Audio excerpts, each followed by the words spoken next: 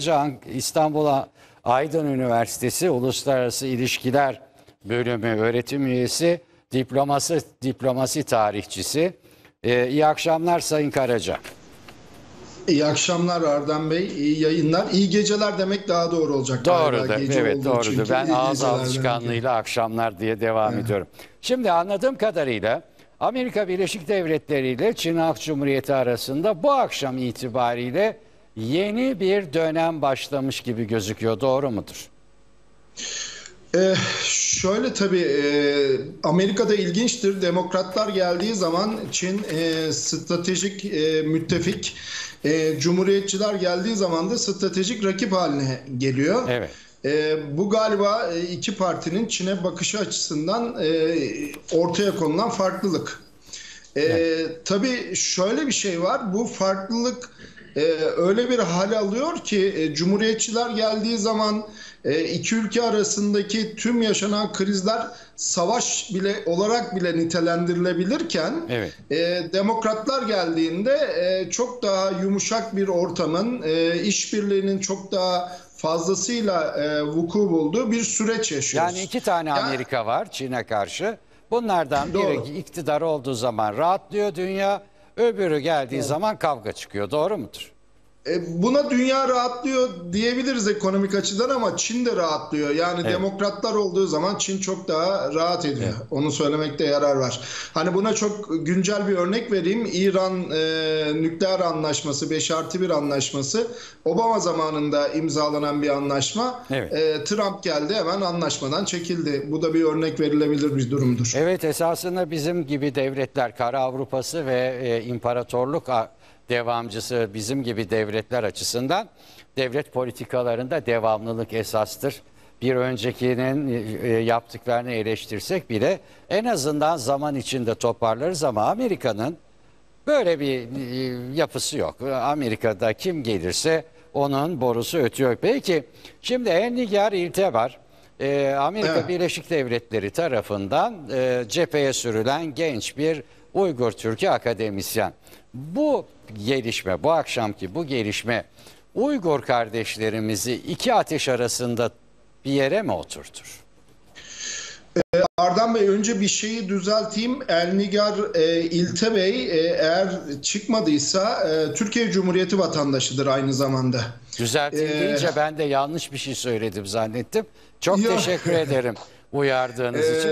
Aa, e, Türkiye Kabataş- Cumhuriyeti Kaba- vatandaşı. Evet Kabataş Erkek Lisesi mezunudur. Aa, Ee, evet.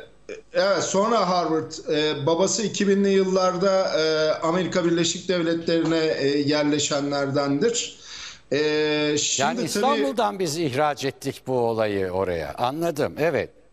Bu bunun e, bunun tabii e, bazı nedenleri var. E, En temel neden e, 1997 yılında ki hükümetin e, çıkardığı e, gizli Uygur genelgesidir.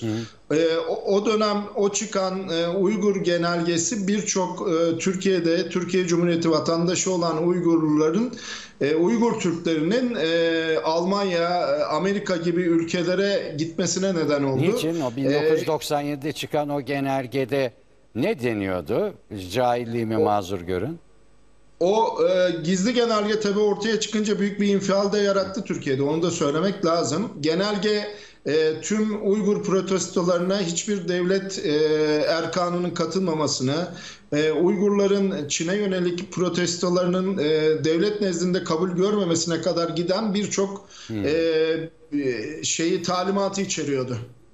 Evet. E, o 1997 biraz kırılma dönemidir Türkiye adına Uygur sorunu noktasında.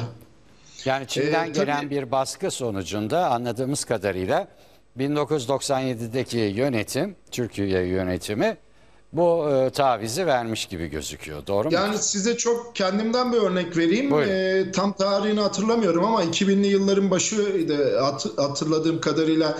Boğaziçi Üniversitesi'nde e, t- TÜSİAD e, Dış Politika e, Kurulu'nun yaptığı bir e, panelde ya da sempozyuma e, Türkiye'de bulunan e, Çin'e girmesi yasak olan bir doçent arkadaşım Uygur e, Türküdür. E, Çinliler onun konuşmasına müsaade etmediler. Nota bile verdiler. Yani e. Çin'in evet Çin'in o derece bir Uygur politikası vardır. Bu Ee, 2001 yılından itibaren anladığım kadarıyla Amerika Birleşik Devletleri de esasında Uygurları gözden çıkarmıştı. Birdenbire çok- bu dönemde Donald Trump ve yönetimi Müslüman bir azınlık olarak Çin'e karşı kullanma gayretine girmiş gibi gözüküyor. Şöyle Ardan Bey şöyle e, bu konuya açıklık getireyim. 11 Eylül 2001 Amerika'da öyle bir infial yarattı ki Evet. Amerika tarihi boyunca karşılaşmadığı bir olayla karşı karşıya kaldı ve e, tabiri caizse bir e, pimpon topu gibi ya da tenis topu gibi duvara çarpıp çarpıp ge- geri gelen bir politika izledi. Ama bu e, neredeyse dünyadaki tüm e, bölgesel ya da yerel e, çatışmaları uluslararası terörizm olarak nitelendirme Ya. e, yoluna gitti. E, bu da özellikle Çin'in e, Uygurlar konusunda en ufak bir protestoyu bile uluslararası terörizm göstermesine, yansıtmasına neden oldu ve Amerika bunu o dönemde kabul gördü Amerika'da. Ha, Çünkü evet. 11 Eylül 2001 sonrasında Amerika'nın e, Birleşmiş Milletler ve diğer kuruluşlar nezdinde getirdiği her şeyi Çinliler ve Ruslar kabul ettiler. E, bu da e, tipik bir Rus ve Çin taktiğiydi. Bunda da başarılı oldular. Hani e, bunu bir kenara atmamak lazım. Evet. Çok doğru bir tarih verdiniz 2001 tarihini. Evet çünkü Ama Amerika e, Çeçenistan'da yaşanılan olaylara da Amerika Birleşik Aynı şekilde, Devletleri evet. aynı gerekçelerle insan hakları Uluslararası açısından terör. yaklaşmamıştı. Ben onu hatırlıyorum. Daha, da, evet daha önce hep insan hakları açısından e, bazı e, söylemlerde bulunurdu Amerika Birleşik Devletleri. İnsan hakları raporlarına özellikle girerdi. O 11 Eylül 2001'den sonraki e, neredeyse 2005'e kadar olan süreç e, Amerika Birleşik Devletleri'nin Rusya ve Çin'in Uygur ve Çeçenlere yaptığı tüm e, baskıları uluslararası terörizmi önleme baskısı olarak görmesine neden oldu. Çok Bu güzel. da e, Evet. Amerika'yı e, ve dünyayı büyük yanılgıya sokan nedenlerden biridir. Amerika bundan döndü ama çok Şimdi e, Amerika geç oldu. bundan öyle bir döndü ki sanki e, bu atama benim de bir kaygım var. Çin öfkesini çok hızlı gösteren bir devlet e, ve biraz da pervasız tabii bulunduğu pozisyon itibariyle. Bu öfkeyi Uygurlara yöneltirler mi yöneltmezler mi? Şimdi e, bir kere şöyle bir şey söyleyeyim. Bu e, El Nigar İltebir'in atanması e, ilk olay değil. Ondan hemen öncesinde Çin'de Merkezi Milletler Üniversitesi'nde ekonomi doçenti olan e, soydaşımız İlham Dohti vardı. Dohti 2014 yılında ömür boyu hapse mahkum oldu. Evet. Ee, onun kızını da Trump kabul etti. Bu dini özgürlükler toplantısında bayağı da bir e, aralarında diyalog geçti. Evet. E, tabii şimdi şöyle bir şey var. Bunun e, iki e, Amerika adına bir sembolik e, anlamı var e, iki olayında. Birisi de birincisi şu Uygur meselesi üzerinden Çin'e mesaj vermek. Hah. Yani e, bir kere bu net. E, Uygur Türkleri adına da şunu söyleyebilirim. Çünkü e, Uygur Türkleri de Beyaz Saray'a emin olun ulaşmakta çok zorluk çekiyorlardı. Daha doğrusu kendi halklıklarını anlatmakta zorluk çekiyorlardı. Maalesef Türkiye'de de anlatmakta zorluk çektikleri gibi. Evet. E, belki Elfigar İltebir vasıtasıyla e, hem Türkiye Cumhuriyeti vatandaşı hem Amerikan vatandaşı ve Amerika'nın Çinli olan politikasını yönlendirebilecek bir kişi olması adına Peki. e, e, Amerikan dış politikasında Uygurlar kendilerine bir yer bulabilirler düşüncesindeyim çift taraflı olarak bakarsak. Peki Hong Kong'a bakalım. Aşil topuğu Bakalım. mu? Yani Hong Kong Çin'in zayıf zayıf e, yönü mü? Şimdi e, 1897 boksör ayaklanmalarının en yoğun yaşandığı dönem e, 100 yılına e, İngiltere'ye verildi, Büyük Britanya'ya ve e, 1997 yılında da 50 yıllık bir anayasa yapıldı, küçük bir anayasa ve Çin'e bağlı özel bir birim olarak ortaya çıktı Evet. Hong Kong.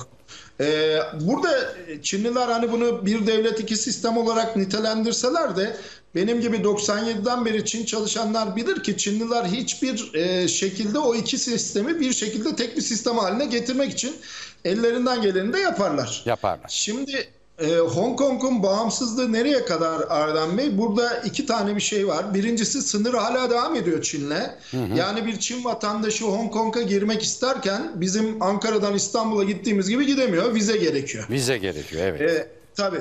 E, Hong Kong doları resmi e, para birimi Hong Kong'da e, renminbi yani Çin parası yuan'in geçtiği bazı e, mağazalar var ama bunlar çok kısıtlı. Hong Kong e, doları Çin'de geçersiz bir para birimi kesinlikle kabul edilmiyor. Evet. Ayrı bir hukuk ayrı bir hukuk sistemine tabi Anglo-Sakson bir hukuk sistemi. E, tabiri Trafiği caizse Anglo-Sakson efendim. Yani Do- her şey. Doğru. Evet. Yasama, yürütme e, ve yargı yetkisine kendisi sahip. E, Çin'den gelen bir tutuklama veya suçların iadesi gibi bir nokta olursa da e, tüm e, bağımsız devletler gibi iç hukuk yerine uluslararası hukuk üzerinden bunu yapmayı yeğleyen bir e. Hong Kong var. E, resmi dili de Kanton Çincesi yani Çin'deki Mandarin Çincesinden farklı ikinci dilde İngilizce siz de Esasında biliyorsunuz. Çin Halk Cumhuriyeti değil diyelim buna. Peki askeri müdahale olur mu olmaz mı? Şimdi şöyle, e, Çin'in kırmızı çizgisi hiçbir zaman pembeleşmez. Ha. Hani e, bunu net olarak söyleyeyim size. Hani bunun örnekleri var. Şimdi Tayvan konusunu bir Çinli'ye açtığınız zaman savaş nedenidir der. Ee, Hong Kong'u e, tabii bir savaş nedeni olarak görür mü Çinliler ama işte Trump biliyorsunuz 2-3 defa e, mesaj yayınladı. E, Hong Kong'un da aynen Tayvan gibi işte Uygur konusu gibi Tibet konusu gibi İç Moğolistan konusu gibi e, uluslararası güçlerin e, kullanabileceği bir konu olmasını da Çinliler çok kabul etmiyorlar. E, ama tabii burada şöyle bir şey var. Uluslararası ilişkiler ve savunma sanayi ve savunma açısından Hong Kong Çin'e bağlı. E, bölge yöneticisini de Çin Ulusal Halk Komitesi ki en üst organdır. Evet. O e, onaylıyor. Şimdi e, Hong Kong'daki gösterilerde Türk kamuoyuna yansıyan belki de e, bir düzeltilmesi gereken e, yargıyı Düzeltip e, toparlayalım lütfen. Evet. Söyleyeyim hemen. Ee, Hong Kong'daki gösteriler yalnızca Çin'e karşı değil. Çin'in çıkartmaya yaz- çıkartmak istediği yasayı meclise getiren mevcut yönetime de Hong Konglular e, isyan etmiş durumdalar. Ee, hani şu anda Çin Shenzhen e, ki Hong Kong sınırıdır. Ee, işte e, iki gün önce Çin televizyonunda da seyrettim ben. E, resmen e, sanki e, bir e, bağımsızlık bayramı gibi e, caddelerde askeri geçit yaptılar arabalarla, tanklarla. E, 1989 Tiananmen olayları düşünüldüğünde Eyvah, eyvah. Çin e, e, bu tip e, şey e, e, kendisine yönelik e, hareketlere, içsel hareketlere kesinlikle taviz vermeyen bir konumdadır. E, son olarak şunu söyleyeyim. Xi'nin o 3 saat 24 dakika süren 3 sene önceki 19. Parti Kongresi'ndeki şey e, konuşmasından bir alıntı. Biz Çinliler için kan bazen sudan incedir demişti. E, buna dikkat çekmek gerekir. Peki. Çok çok teşekkür ediyorum. Bayağı Ben bir mesele var.